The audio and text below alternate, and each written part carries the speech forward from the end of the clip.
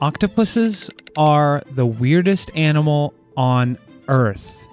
And I know what you're thinking. Is it because they have three hearts, or blue blood, or that they can regrow their limbs, or that they're known to use tools, or they can change colors whenever they want? And of course, all that is pretty cool.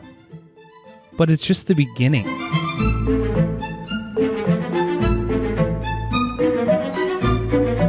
Turns out octopuses and their close coleoid relatives have a unique ability to edit significant amounts of their RNA.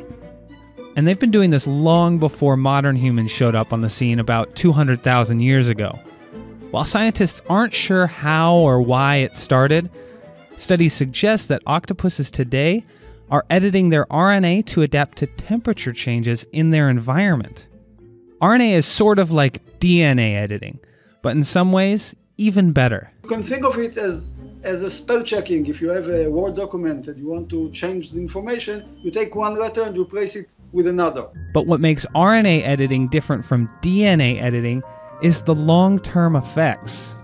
Your DNA, for instance, is identical in each one of your trillions of adult cells.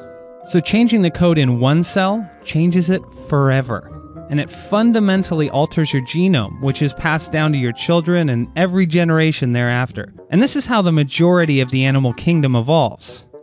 But octopuses do things differently by also editing their RNA. This allows them to try out adaptations in the short term without messing with entire generations to come. In, the, in this um, aspect, RNA mutations or RNA editing events are much less uh, dangerous. You can play with the RNA, you can test many possibilities without damaging the master copy of your genetic information. Unlike DNA, changes to RNA are not hereditary. It also means you can target certain body parts and edit the RNA in them individually. In fact, research groups have discovered that octopuses tend to edit the RNA in their brain tissue more than anywhere else which has led some experts to hypothesize that this is why octopuses are the most intelligent of all invertebrates in the planet. Now, most organisms, including humans, have the enzyme necessary for RNA editing. But the general consensus is it's just not worth the effort. Humans, for example, have around 10 RNA editing sites. But octopuses have tens of thousands. It's really a completely new story. So, octopuses and their coleoid cousins truly are bizarre.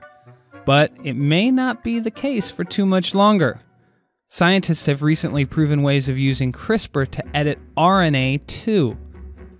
Perhaps they can learn a thing or two from the experts.